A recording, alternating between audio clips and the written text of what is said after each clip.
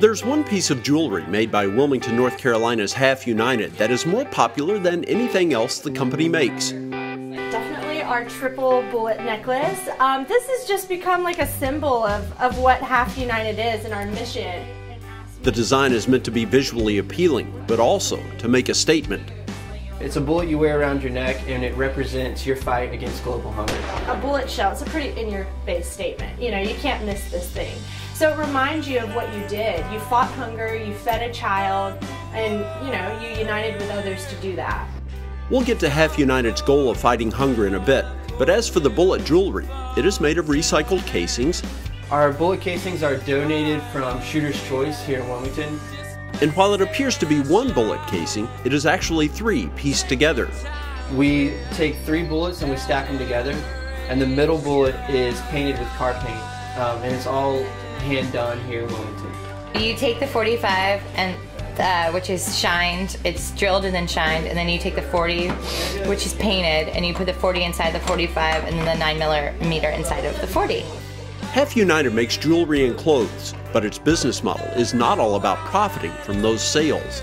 What we do is we give half of our profits away for every item we sell to feed kids in need. The brother and sister team of Christian and Carmin Black were taught early on that caring for others was a worthwhile goal.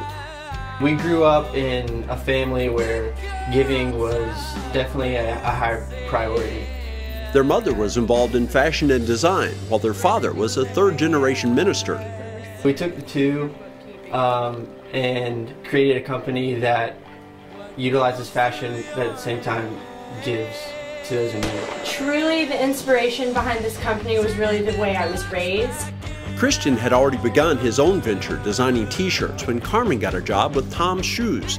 That's a company that uses its profits to help those who are less fortunate as soon as I got that job, I thought, this is it for me. I'm going to start a similar company. She called me and was like, hey, I have this great idea for a company. Do you want to team up with me? I want to give back. You want fashion. Let's join forces. And since then, that's what we've done. Carmin and Christian found that establishing the company so that each sale generated money to buy food for hungry kids was a perfect fit for them. It definitely means more um, that the reason you're coming to work isn't just to put money in your pocket. There's nothing really complicated about the structure of the company. It's simply automatic that profits are split down the middle. With every product we sell, we immediately take half of the profits and that goes into a separate account. And I am shocked that more businesses don't do this because what we do is we give half of our profits. Profit is what's left over. Anyone can do this. Um, I think it's a less greedy way of doing business. So far, in three years of operating like this, Half United's efforts have provided more than 55,000 meals. Almost a month's worth of meals can be given with the purchase of one of these necklaces. You know, I don't know, I think it's cool. Funds go to nonprofits that are already working on the ground, some local. We feed locally in the States, um, directly here in Wilmington. Most overseas. Abroad, we feed in Liberia, in Fiji, and in Cambodia. While the fact that a purchase will help a hungry kid could influence someone to buy a necklace or a shirt, Christian and Carmin say that they want their products to stand on their own. We actually hope they go into a retail store and they pick up one of our products and they love it and then they flip the little card over that it comes on and then they read and they're like, oh my gosh, and this feeds a child in need. They figure the business model is sustainable only if people genuinely like what they are selling. If you don't have a great product that you're offering people, you're going to have one-time customers, and we want repeat customers that help further our mission. At the same time, the combination of an appealing item and the ability to help a worthy cause can create a lasting connection between customers and Half United.